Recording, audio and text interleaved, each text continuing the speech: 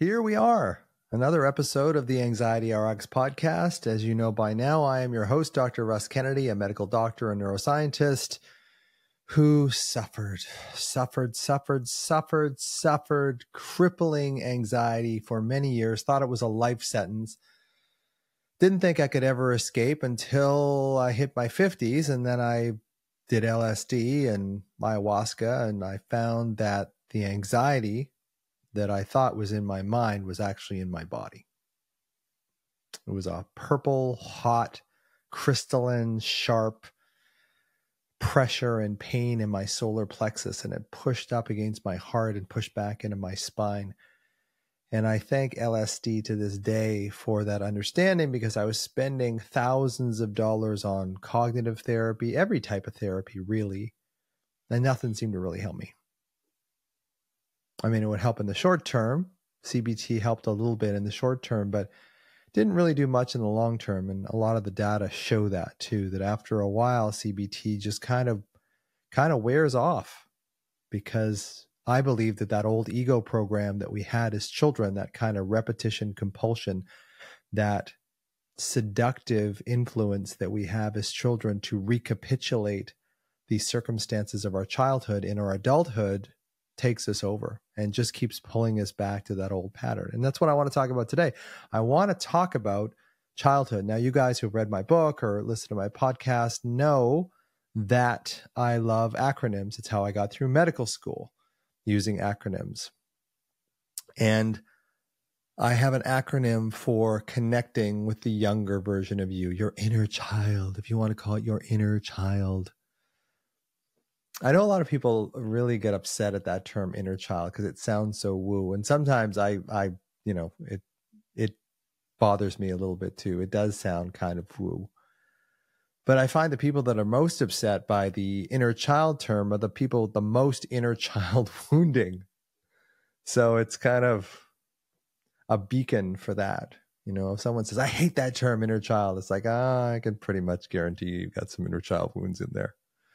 So the acronym I have for this connection with your younger self, connection with the child in you, inner child, younger self, whatever whatever term you want to use is should. Because we should connect with the younger version of ourselves because if we don't we're going to be anxious forever. It will be anxiety will be a life sentence if you don't connect with that wounded younger version of you. And sometimes people have severe emotional, physical, sexual abuse, and you need some help for that. Like, we can't just process this on our own. So, if this is triggering, you know, consider getting somebody who knows what they're doing, specifically someone who's familiar with somatic healing, somatic experiencing, or maybe something like internal family systems, something other than just cognitive therapy. I'm not against cognitive therapy.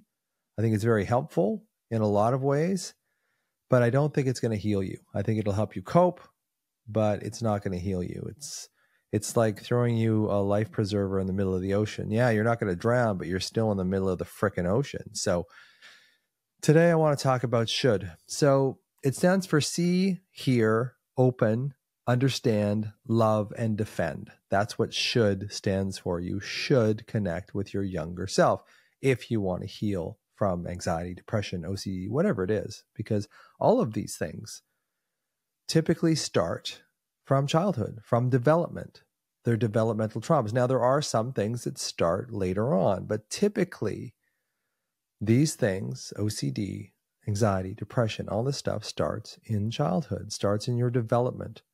And like I said last time, you know, your brain stem, the part of your body, the brain that controls your body, develops first and then the emotional brain kind of develops like a helmet on top of that and then the cognitive brain develops like kind of a helmet on top of that. So if your brain stem is developing in stress if your mother's really stressed and you know while you're being carried in your mother's womb or uterus as we like to call it in medicine while you're being carried if you're stressed your brainstem develops in this atmosphere of cortisol and stress and it develops this sort of tendency towards stress, tendency towards fear. And if your brainstem develops in fear, your emotional brain is going to develop in fear on top of that. And then your cognitive brain is going to develop in fear. So you kind of develop this sense of that the world is an unsafe place and the world is fearful. And it develops a certain amount of sensitivity in you as well. So you're sensitive to stimuli that aren't pleasant, that are potentially fearful. So when we get this development type in our brain, we see the world through the eyes of fear, through the eyes of protection. And a lot of us, I think, were born this way. A lot of us were born with, with at least the underpinnings of anxiety. There's other genetic influences. There's, of course, environmental influences. But in general, you know, we're kind of born at a certain level of sensitivity. And I think that if your parents are stressed while they're gestating you, the chances that you'll be stressed too are fairly high. So here's what should stands for. It stands for for see, hear, open to, understand, love, and defend. So see.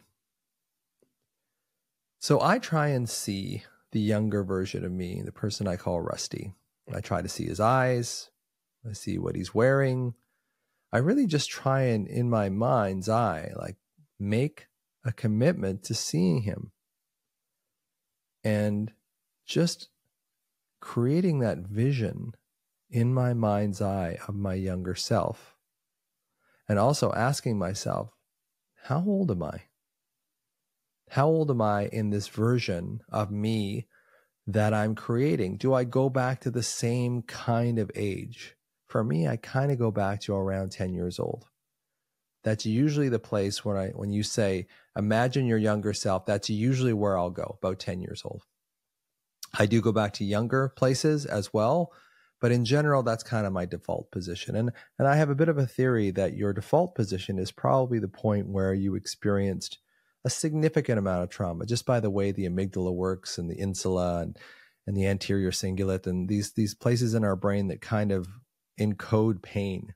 It's the same kind of thing like where were you 9-11 where were you when there was something happening that was major in the world? There is something in our brains that kind of sears that into our memory and into our existence in a way and we go back to that that place. So i try and see myself at different ages and just see. I don't have to do anything with it. I just try and see him. What's he doing is he happy? Is he walking to school? What's happening to him? And just i know this is rather ethereal. There's really not a whole lot of like how to to this but this is kind of what i do and i think everybody's different. I think you just look at what did i look like when i was younger? And can i imagine what was i wearing? I used to i used to have these bell bottom jeans that were multicolored you know in the 70s because I was, you know, a teenager in the 70s. And just imagining those pants and, you know, just the guts it took to, to wear those pants because they weren't they weren't that popular and I fixated on those pants and wore them for years. But just what was happening when you go back to your younger self and you see them you actually get a picture in your mind's eye because 70% of your brain is devoted to, to your visual system. And even if your eyes are closed and you're imagining seeing something, your visual cortex, the back part of your brain, lights up. So it's still active, even though your eyes are closed, even though your, your reference is dark because your eyes are closed, your visual cortex is still going. So, what did you look like back then? And maybe did you like that person? Did you not like them? Now we get into that a little later as I go on to the, the should acronym. The next one is here. So S is for see, H is for hear. What do they say? Do they ever talk to you? If you talk to them, do they ever say anything back to you? And I, I have a varied reaction with my patients. Some people say, yes, they will talk right back to me. Other people say it took months before I heard anything from the younger version of me. Sometimes what I will do is, is I'll do what I what I call commiserating. So I'll say to him, it must have been really hard for you when your dad would be really depressed and be in the bedroom and just not interact with you at all. Must have been really hard for you for that. And some of my other patients, uh, you know, they'll say to themselves, it must have been really hard for you when your mother ignored you or your, when your mother commented on your weight. Like, try and find something that has some emotional salience or resonance with you. And then ask the child after you see them, what was that like for you? What was it like when your mother had to go to work at six in the morning and you had to get up and, and get shuffled off to the babysitter, which happened to me. Still dark days for me. What happened? How did you feel? And then wait, and then wait. And like I said, you may get an answer, and you, and then we don't know. We don't know if it's really them answering us or it's us thinking what they would say but I think the more you do this practice of, of really making the intention to see them and hear them, what are they saying to you? What is it that they are, that they would say to you to a responsible, loving, caring adult if they had the chance? Because maybe they did at that time in their life have a loving, caring adult, and maybe they didn't. So maybe you're right. So the next thing is to open up to them because so often we have so much judgment on ourselves as children. Like if you were neglected or you were bullied, if you were bullied, there's, I read something a while ago that said, you know, there's part of us when we're bullied as children that actually agrees with the bullies, that actually agrees with them because it makes sense that they're teasing us. I used to have this facial tic.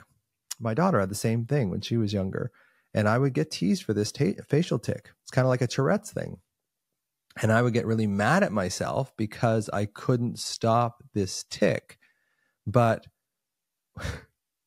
when I would get nervous and they would tease me, I the tic would would become more active and they would tease me more. And in my mind, I'm going, why can't you stop doing this? And it was neurological. It wasn't psych I'm sure there was probably a psychological influence somewhere, but it was neurological. So I blamed myself for many years for not being able to stop that when really I couldn't. So what do we blame ourselves for as children? Can you open to that child's pain? Can you start to connect with them? Can you say to them, it must have been really hard for you when you were hit? Or you were abused or neglected or abandoned or or had to grow up too soon, had to be the man or the woman of the house too soon. It must have been really hard for you. And then open up, hear what they say, open up to them, and just allow this fertile, welcoming place that they can share that with you. And this is hard. This is not easy. This connecting with the younger version of you is how you heal, but it's also, you know, I have a picture in my book of the dragon on top of the treasure. And the dragon is overcoming this fear of going back to that child, that bullied child, that child that was hit or hurt or abused somehow, and going back to them. It's very difficult to do that. But the only way we actually get to the root cause of the problem is to connect with that younger version of us. And I've said this before Anxiety is a result of the adult self and the child self in you being separated and your mind and your body being separated. So when we can bring the adult self and the child self back together, and we can do other things like breath work, maybe yoga, something that brings the mind and the body back together, you stand the best chance of healing. So see the child, hear the child, be open to the child, and then try to understand what they were going through, understand how they had to develop this reactive self, this maybe this people pleaser or maybe aggressive, how they had to react under the situation of their childhood. Can you understand that they maybe became violent, that they maybe became depressed, maybe became anxious? Can you understand that that would be a natural reaction to not getting their needs met and just being a sensitive child? Can you understand them and make the intention? I will understand understand you. I'm not going to judge you. I'm not going to abandon you. I'm not going to blame you. I'm not going to shame you. You guys know my JABS acronym.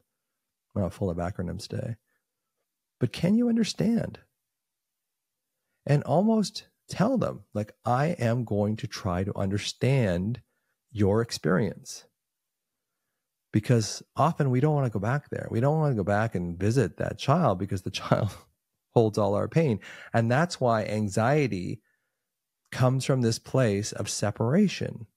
All anxiety is separation anxiety. That's what Gordon Neufeld said. And, and then I add, and it's mostly separation from yourself. So when you split that adult and that child and, the, and your mind from your body, when you go into stressful times and you don't want to feel your body, which is basically the the remnant of your younger self, when you push that pain away, you're also pushing the child away.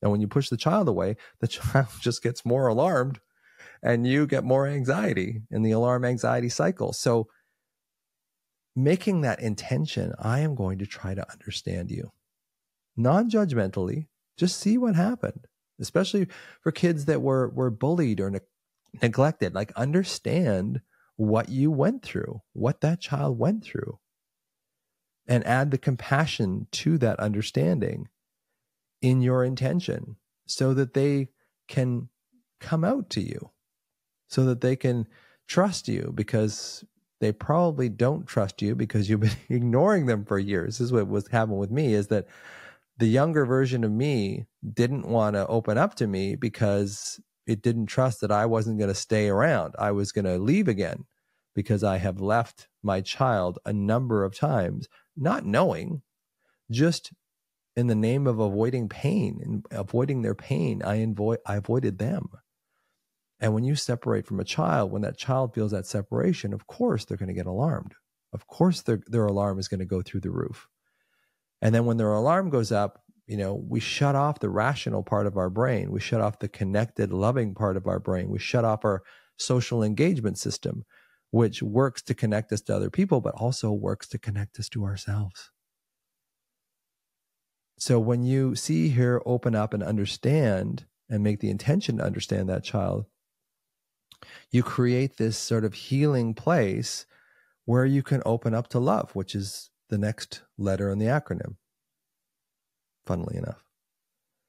And loving your child is hard because we often unconsciously see them as holding our pain. So when we love them, just like when I loved my father and he would go psychotic or depressed or or whatever the psychosis of the day was, I would not trust that after a while. So I would withdraw love from my father because it just hurt too much to see him in pain. And I think on some level, that kind of happens to us. We withdraw from the child in us because it just hurts too much to acknowledge that pain.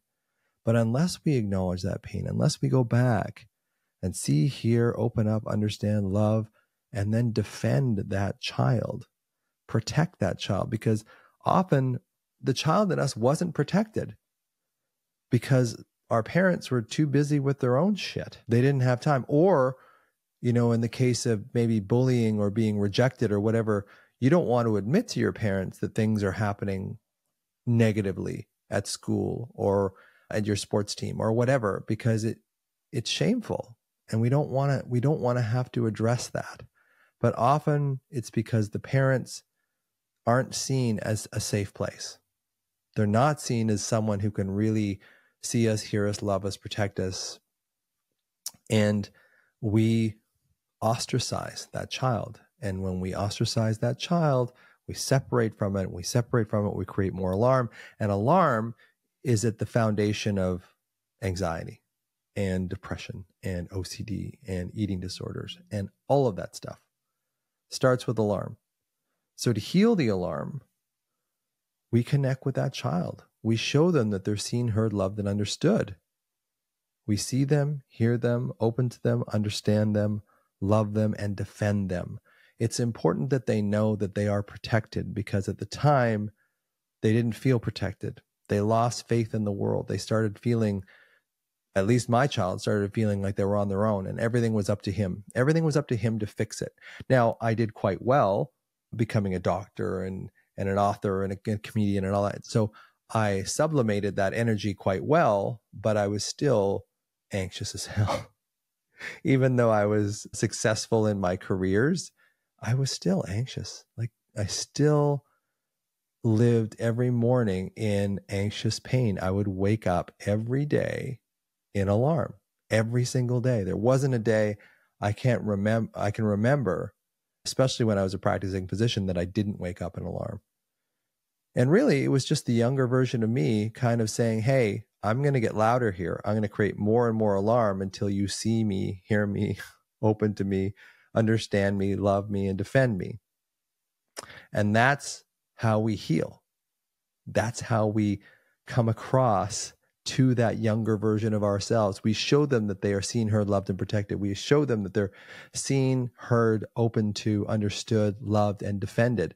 When we do that, we start creating this internal connection rather than this internal disconnection. When we connect with ourselves, we reactivate that social engagement system that allows us to soothe ourselves. And that's how we heal. And I'll see you next time.